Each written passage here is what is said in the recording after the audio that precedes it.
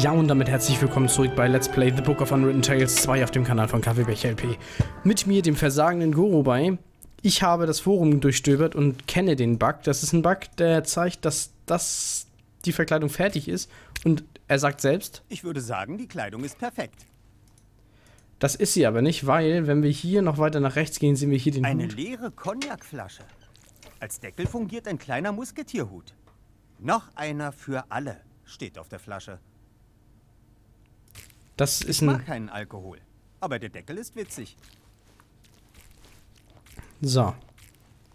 Jetzt ist der scheinbar Ich da. würde sagen, die Kleidung ist perfekt. Gucken wir mal, ob es jetzt hilft. Es soll noch andere Bugs geben. Eventuell habe ich noch einen ausgelöst, den ich nicht umändern kann. Das Spiel ist also sehr verbuggt, da es noch in der Early, Early Access ist. Also werden wir mal sehen. Lass uns ausprobieren, wie gut die Verkleidung ist. Alles klar. Versuch dein Glück, Timmy. Schau mal, wer wieder da ist, Ethel. Ich bin's, Remy.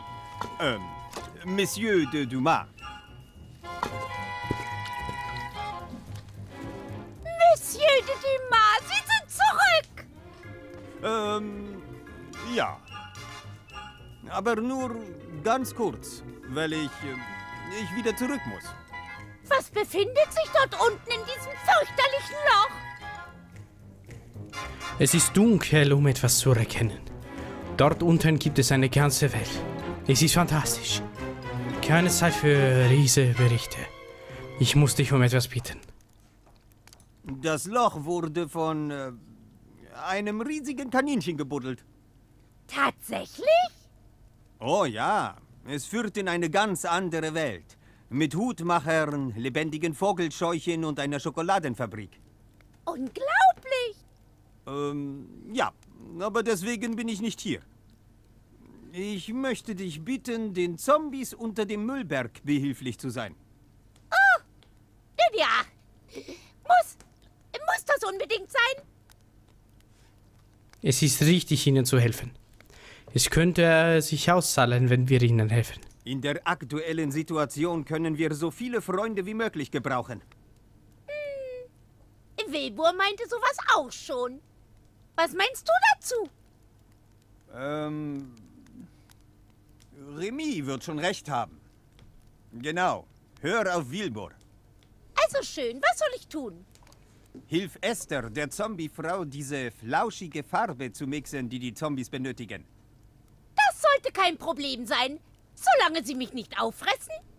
Dafür kann ich garantieren.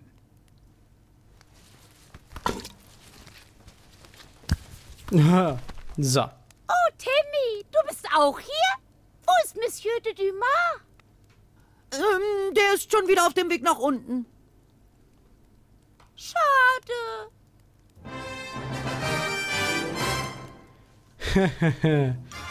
Da ist sie jetzt.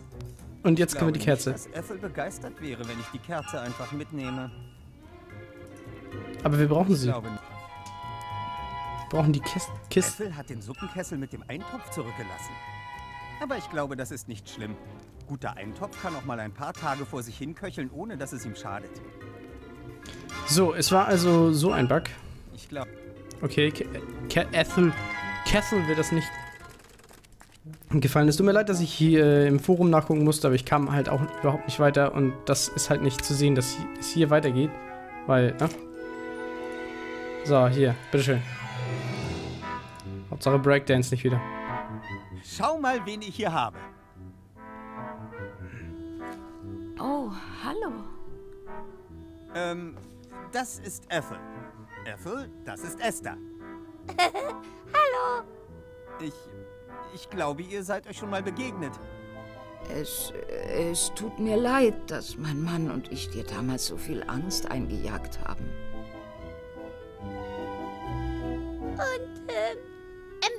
Es leid, dass ich dich angeklammert habe.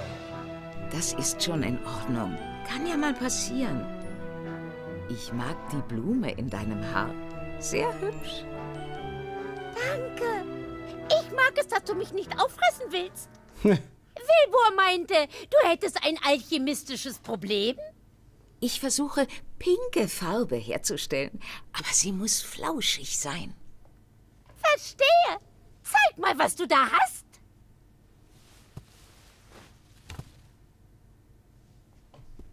Friede zwischen Ratten und Zombies. Das fühlt sich ziemlich gut an. So. Ethel wird jetzt hier mithelfen. In der Zwischenzeit gehe ich dann noch mal schnell die Kerze holen, sofern ich die mitnehmen kann, weil Ethel nicht da ist. Solange Ethel bei den Zombies ist, braucht sie die wohl nicht. Ich zünde sie am Kaminfeuer an. So, hab sie. So, sie brennt, das heißt, wir bringen sie hier rüber. Weil, die muss nämlich hier sein, auf die Waage muss sie gelegt werden. Ich drücke die Kerze auf der Seite mit der fehlenden Schale auf das Querstück. So, das sollte halten. Die Waage hängt an der Halterung und die Kerze steht auf der Waage. Ich habe das Gefühl, ich bin auf einem guten Weg.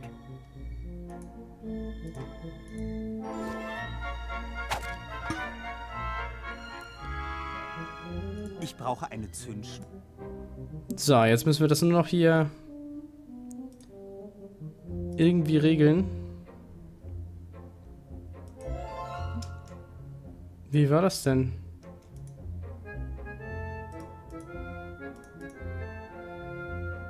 Ich krieg die Kohle nicht raus hier.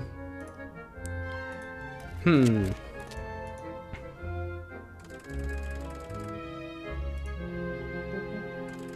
Gehen wir mal gucken, ob wir weiter sind mit der Farbe.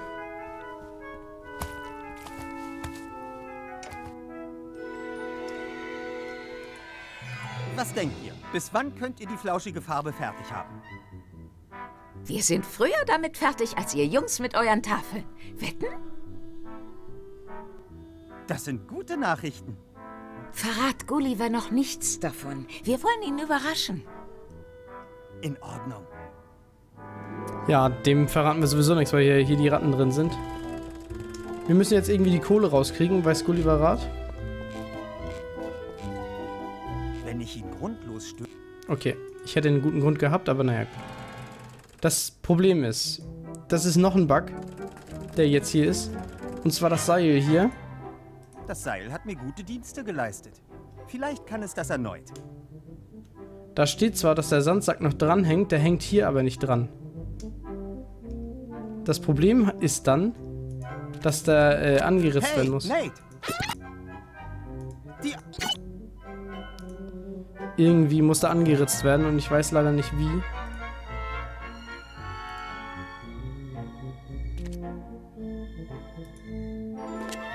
Benutze das Seil. Seil eignet sich nicht als Zündschnur. Ich muss mir... Haben wir doch jetzt. Du, hier wäre dann der, der Sand dran. Das Sandsäckchen, das müsste angeritzt werden, sodass der Sand durchtröpfelt, um die Kerze hochzubringen. Aber das können wir nicht, weil wir das Seil hier nicht haben. Und ich kann es auch nicht abbrechen. Das wäre, das wäre Das Seil hat mir gute Dienste... ähm, man müsste das auseinanderbauen vorher. Das geht Das nicht Seil. mehr. Das ist ein großes Problem hier. Die Spreng... Ich hoffe, dass... Die Waage hängt an... Ich habe das... Können wir Timmy nicht hier ransetzen? Ich kann das nicht auswählen. So, das ist noch ein Bug. Ich werde herausfinden, wie ich das machen kann. Und dann sehen wir uns demnächst wieder. Bis dahin, euer Gorobei. Ciao. Ja, und damit willkommen zurück hier bei äh, The Book of Unwritten Tales 2. Zurück. Ich habe mir ein Safe-Game runtergeladen. Musste ich machen, weil wenn du erstmal das Seil mit dem Sand und dem Stein kombiniert hast, ist das Ding schon verloren. So. Hier ist der gefüllte Sack. Hier und hier und hier und hier. Und hier ist eine mit Schale, eine Schale gefüllt mit Sand, die wir einfach nur hier hinlegen müssen. Am einen Ende des Seils hängt der Sack, am anderen noch immer der Stein. Das sieht vielversprechend aus. Genau, wir müssen das jetzt irgendwie kombinieren hier. Ist dann hier alles so möglich? Am einen Ende... Das sieht... Achso, das hatten wir schon. Die Waage hängt an der Halterung und die Kerze steht auf der Waage. Ich habe das Gefühl, ich bin auf einem guten Weg. So, jetzt müssen wir das nur noch irgendwie steche das Säckchen an. Okay. Ich steche ein Loch in den Sack, Sand läuft aus. Er fällt in die Waagschale, drückt sie hinunter und die Kerze wird angehoben. Sie entzündet die Sprengladung und bumm, wir haben unsere Kohle. Und dank unseres Erfindungsreichtums auch noch all unsere Finger.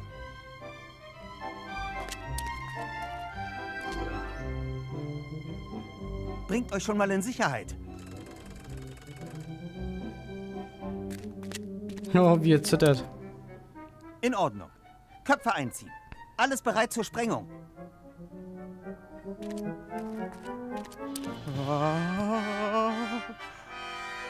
Jetzt. Gleich. Jetzt. Jetzt. Jeden Augenblick.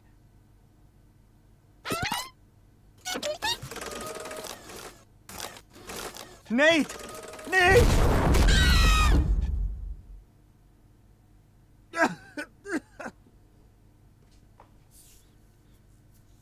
Das hat Nate erwischt. Nein! Tu mir das nicht an, Nate. Nate? Nate! Tu mir das nicht an! Wir müssen was tun. Du musst ihn reparieren. Ich kann nicht. Ich bin kein Ingenieur. Das ist egal. Hilf ihm. Ich. Moment. Vielleicht gibt es eine Möglichkeit. Opa hat mir davon erzählt. Die besten Gnomen-Ingenieure geben diese Technik an ihre Schüler weiter. Tu es. Geh! Endlich! Du blödes Ding! Hast du einen schweren Schraubenschlüssel? Damit geht es besser. Nicht nötig. Nichts passiert, was er nicht selber reparieren könnte, würde ich sagen. Wir haben uns Sorgen gemacht, Nate. Aber dann hat dich jemand gerettet, der kurz mal vergessen hatte, dass er das eigentlich gar nicht konnte. Nate! Alles in Ordnung?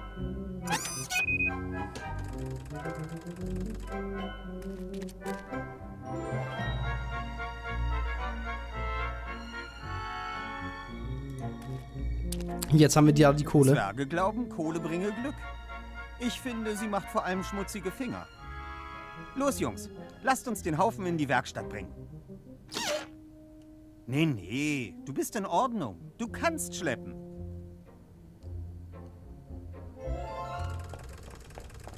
Oh gut, da liegt jetzt haufenweise Kohle.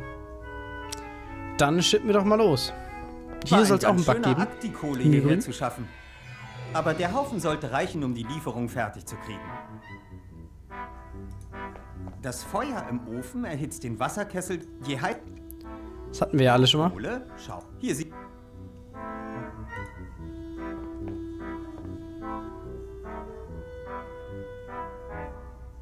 Prinzipiell scheint alles zu funktionieren. Kohle haben wir auch. Fehlt nur noch ein Kai. Achso, ah, okay. Bei dem Safe hier gibt es den Keilriemen nicht. Den holen wir dann nochmal schnell. Haben wir ja schon mal gemacht. Wisst ihr ja. Ist Ethel weg? Ja, müsste sie ja sein, ne? Ja, genau. Nochmal zurück. So, Timmy, dann komm mal her. Stell dich nochmal auf die Wippe, Tipp. Das haben wir alles schon mal gesehen. Da ist ja nichts Neues bei.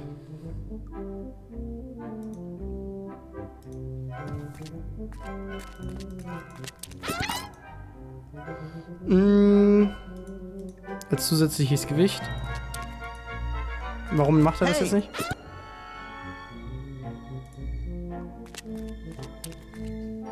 Nate, kannst du einmal rüber? Vertrau. Das sollte reichen. Bereit, Timmy? Mehr Power! Hu, hu, hu. Das ist es.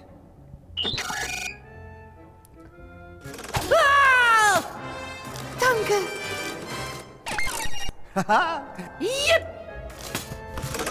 So, wir sind ja ein gutes Team, wissen wir ja alle. So, sammeln wir jetzt das, den Keilriemen auf, das haben wir schon mal gehabt. Und zurück in die Werkstatt.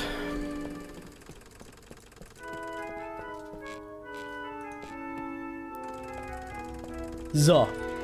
Jetzt den Keilriemen hier ransetzen. Das sieht gut. Das war's. Jetzt müsste alles funktionieren. Der Konstruktor funktioniert? Das werden wir nur erfahren, wenn wir es ausprobieren.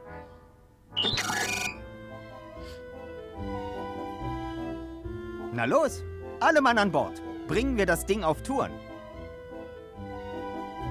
Wenn wir den Zeiger in den grünen Bereich bringen und dort halten, läuft die Maschine effizient. Und wie stellen wir das an? Nach guter alter Gnomenart. Wir probieren so lange herum, bis wir wissen, was wir tun. In Ordnung. Du hast das Kommando. Sehr gut. Nate, die Hebel.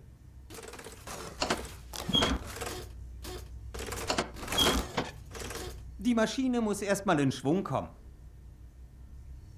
Timmy. Hm, nee, das war's nicht. Hm, nee. Achso, das war's nicht. Gut, dann machen wir mal, schaufeln wir mal die. Kohle los. Machen wir die Tür mal auf, Wilbur.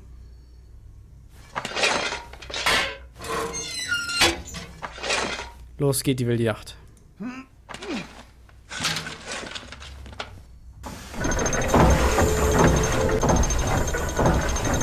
Noch mehr Kohle.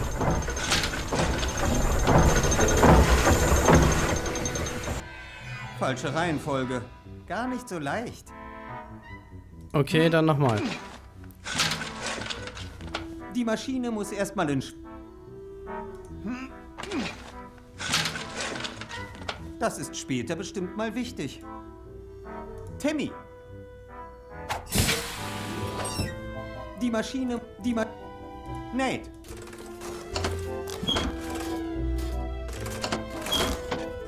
Das ist spät. Okay. Das ist später.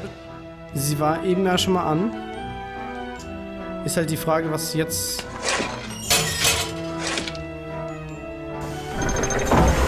Achso. Der scheint zu laufen. Nate! Die Hebel!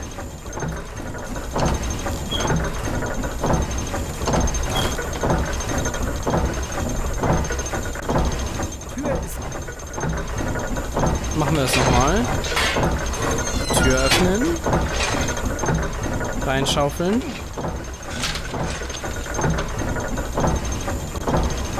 Tür wieder schließen. 50% Effektivität. Weiter. Die Hebel nochmal. Die Hebel.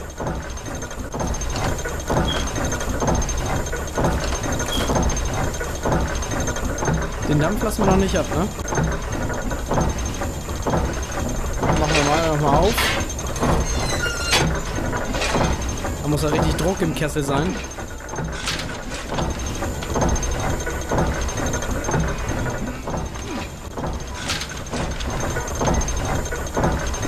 Oh, jetzt ist er wieder runtergegangen. Ein Stück. Boah, es wird auch ein bisschen laut jetzt. Nate.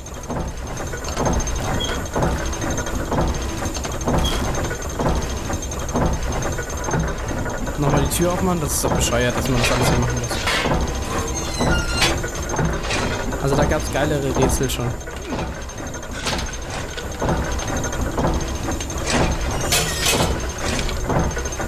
Nate. Die Hebel. Nate, die Hebel.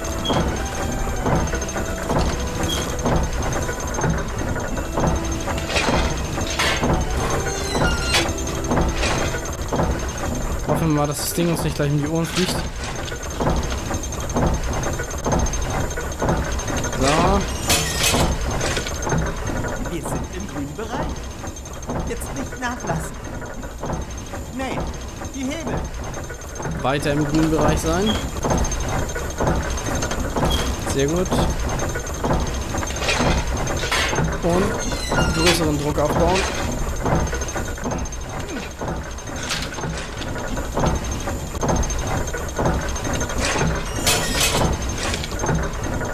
Nate. Die Hebel.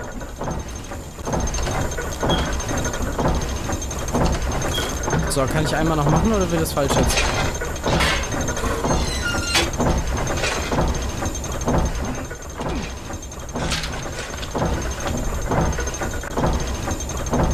Wieder zu machen. Ich glaube, wir müssen da richtig, richtig Dampf machen. Die Hebel.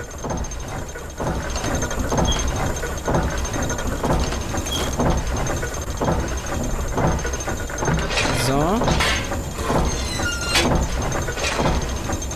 Ob wir das jetzt so hinkriegen?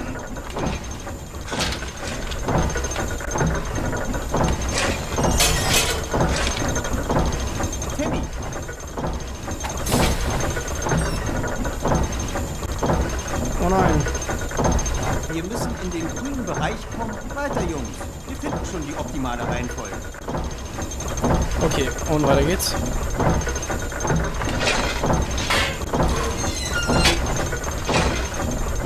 Nee,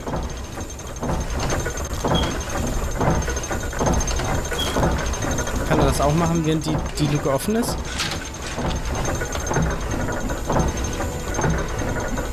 Was?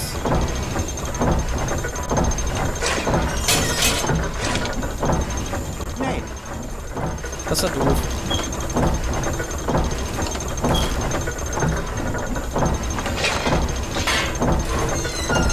Wir müssen den Druck hier aufbauen.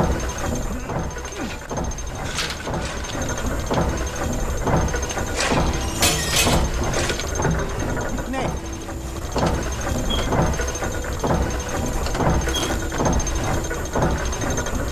So. Ich versuche das nochmal schnell zu machen jetzt in der Folge. Ich glaube, ich schaffe das aber nicht in der Folge.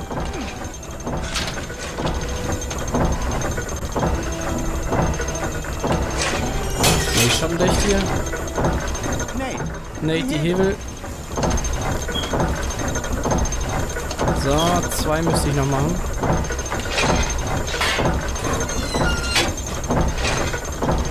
Alleine das vorzustellen, dass der kleine Roboter das alles gebaut hat hier.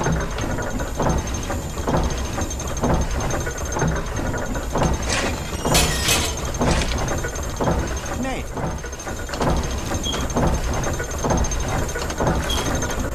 So. Ach, wieso ist denn jetzt der Dampf abgelassen? Das ist ja doof. Naja, ich mache mal kurz Escape, damit wir hier nicht zugeschrien werden. Und äh, wir sehen uns das nächste Mal bei The Book of Unreal Tales. Bis dahin, Eugo, bye. Ciao.